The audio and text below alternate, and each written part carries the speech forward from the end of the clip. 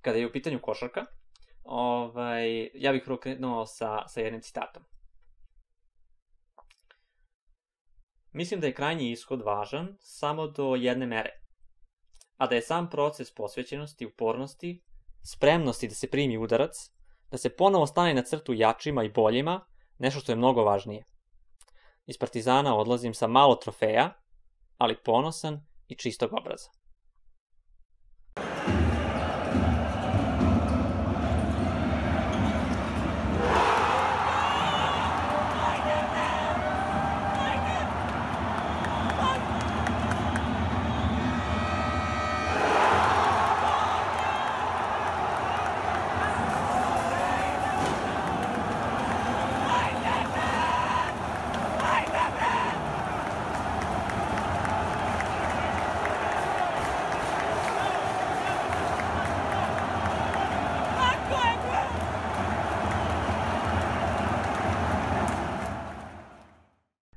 Ovo je rekao kapiten, i tako ću dalje reći, Rade Zagorac, koji nas je prošle nedelje, ovaj, koji nije produžio ugovor s Partizanom prošle nedelje.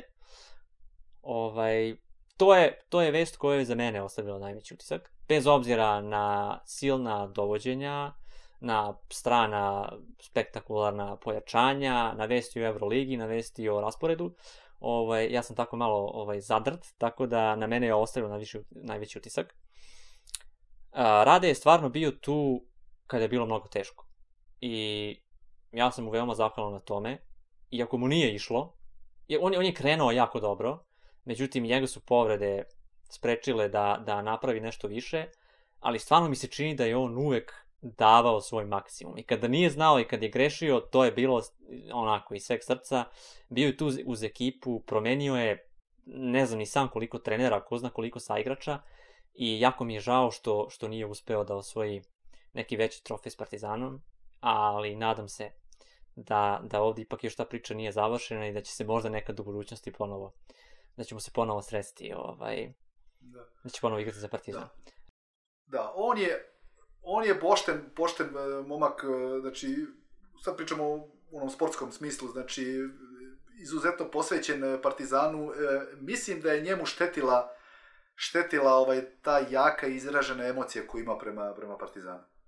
A, postoje sportisti, imali smo to i u slučajevi u futbolu i u košarci, kad su igrači posebno emotivni to, ali neki uspevaju da se s tim izbore i da se to ne odražava na, na njihov učinak. A neko jednostavno u, tim emo, u toj jakoj emociji e, sagori.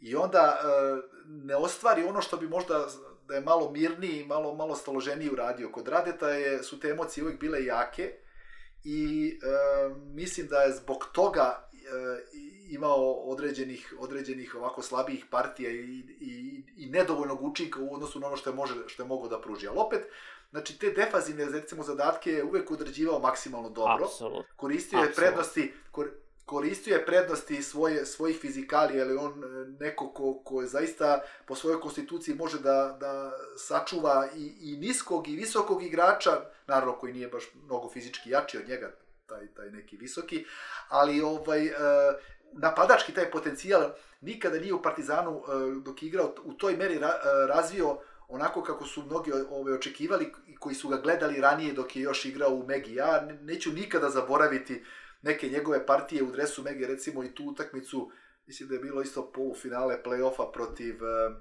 protiv budućnosti u Podgorici pre nego što je došao u Partizan, mm -hmm. ili partiju u Kupu dok, koji je igrao ovaj, eh, baš protiv Partizana, čini mi se u Nišu. Znači, bilo je tu utakmica gde on napadački Arsenal imao fenomenalan, znači i pogađao i iz prodora, i šuta, iz, iz distance, polu distance. Znači, jednostavno, to je ono što je falilo ovaj, u kontinuitetu u Partizanu. Bilo je utakmica koje on e, bio jako dobar i, i u napadu. Setimo se onu jednu utakmicu u finalu play-offa protiv, protiv e, Zvezde je i rešio ovaj, svojim šutem sa, sa distance. Ovaj, tako da, ali kažem, to su bile re, redke situacije i, i jednostavno nije, nije u napadačkom smislu ovaj, u Partizanu uradio ono što se očekivalo od njega.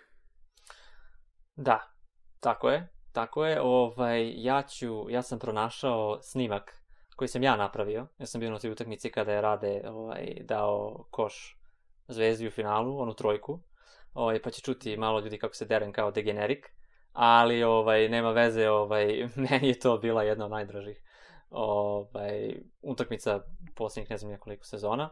Tako da stvarno veliko hvala Radetu na svemu što je dao, pre svega na toj emociji i na posvećenosti koju je dao Partizanu i stvarno se nadam e, da će u nastavku karijere imati puno više sreće i eto da će nam se možda vratiti jednog dana. I, I ne zaboravimo, Rade Zagorac nam je doneo uh, možda i najveću pobedu, u, pojedinačnu pobedu u jednoj utakmici, koja nažalost nije, na, uh, nismo iz, iz, izvukli iz te pobede benefite zbog te proklete korone, a to je bila pobeda nad Virtusom u Bolonji. Virtus. Znači, setimo se šta je uradio u zadnjem napadu, kako je oduzeo loptu i položio tamo za, za naše vojstvo i za pobedu, a to je bila pobeda koja nam je obezbedila prvo mesto u grupi i obezbedila nam je znači, arenu faktički do kraja tog Evrokupa, gde, gde smo mogli, ovaj, da nije te prokleta korone bilo, da dođemo ovaj, da, do, do Evrolige, ovaj, ne samo znači preko ABA lige, nego i preko Evrokupa. A ta pobeda, tu pobedu je direktno doneo ovaj, Rade Zagorac. I pobediti Virtusa u Bolonji, Uh, koji nije bio tada ništa slabiji od ovog Virtusa koji sad osvojio Eurocup,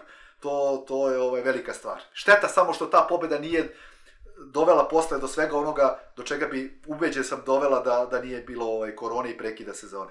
Ma, mnogo neverovatno, neverovatno je imao nesrećne okolnosti. Mislim, još se sećam, još kada je Muta bio trener, pa je Rade trebao da dođe, pa je Muta dao neku izjavu, nešto da radi, neće doći zbog para ili tako nešto pa onda nije došao, pa je došao tek sledeće sezone da igrao valjda u Betisu, nemam pojma. Ovaj... Jeste u Sevilji otišao. Ma, eto, ali ne znam, stvarno sve najbolje i eto, nadam se da, da se vidimo ponovo. Ako ništa drugo, ja sam siguran da će Rade biti na utakmicama kada god bude, bude bio u mogućnosti u hali, pa, pa ćemo se tamo vidjeti.